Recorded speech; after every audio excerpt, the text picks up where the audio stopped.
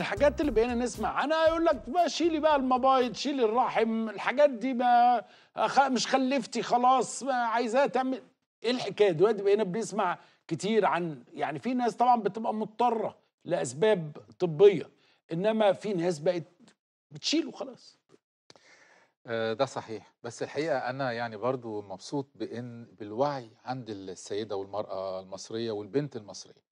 يعني حتى ال- اللي بتيجي سيدة وبتتكلم في حاجة مبايض وكده هوت بتلاقي بنتها آه، بت- بتسأل على الحتة ديت وأهمية المبايض وتتشال ولا ما تتشالش.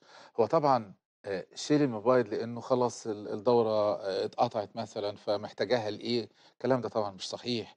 ال- ال- ال- المبيضين مهمين جدا جدا للسيدة. زي ما قلنا بعد انقطاع الطمث هم بيكملوا في إفراز الهرمونات اللي هي كفاية للمحافظة على جودة الحياة للمرأة من ناحية منع ال- الهشاشة ال- الحادة إن يحصل مرة واحدة آه، منع مشاكل في ضغط الدم منع مشاكل في المزاج آه، آه، لدى المرأة منع مشاكل في في ال- الحالة النفسية وال يعني الانطواء أو كده.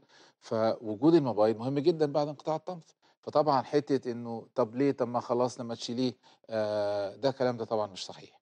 المبيضين طول ما في آه، آه، يعني ما فيش ضرر منهم في فايدة ليهم فبنسيبهم. طب إمتى يبقى شيل المبايض مهم أو ضروري؟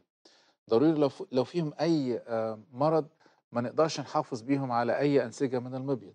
حاجات غير حميدة آه، لا قدر الله اصابت المبيضين لأن لو في حاجة غي- غير حميدة اصابت مبيض واحد لدى آه، بنت أو سيدة في مقتبل ال- الحياة الزوجية أو كده لأ ممكن عن طريق ال- الجراحة التحفظية نقدر نحافظ على المبيض التاني. نشيل المبيض اللي هو مصاب بهذا الأمر اللي هو المنظر قبل الجراحة من الإشاعات والتحاليل ودلالات الأورام إنه ممكن يكون مش كويس لأ ممكن نشيله هو لوحده ونشيل بقية الحاجات اللي بنشيلها من عينات من الغدد الليمفاوية وما إلى ذلك من داخل البطن ونحافظ على الرحم والمبيض السليم. ولو ال- المرض الغير حميد ده في بدايته تمام إحنا كده ما ضرناهاش بس حافظنا على الخصوبة بتاعتها.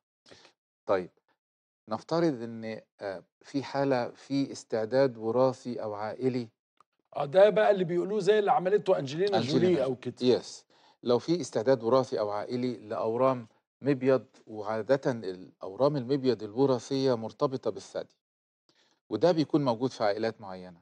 طبعا عادة بيبقى في the first member in the family آه. أول واحد في العيلة وبعد كده الدنيا طيب ده بنعرفه إزاي؟ ده بنعرفه طبعا بالتاريخ الوراثي آه، أو التاريخ العائلي المرضي آه، وبنعرفه ببعض التحاليل ال- الجينية اللي بتتاخد من الدم موجودة دلوقتي الحمد لله بتتحلل في مصر وفي طبعا لسه يعني بتتحلل برضو برة آه، هنا نقدر نعمل إيه؟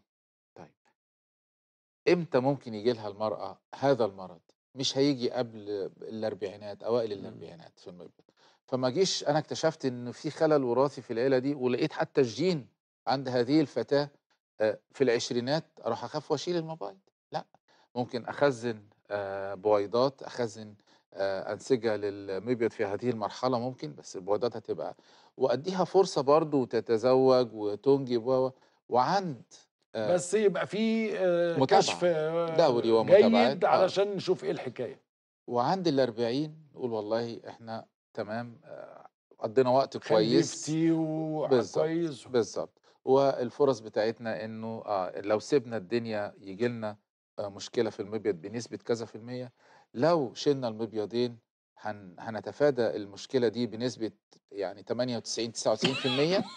بس هيجي لنا مشاكل تانية ممكن هشاشة تغير مزاج و هنعالج المشاكل دي مش هنشيل ونسيب.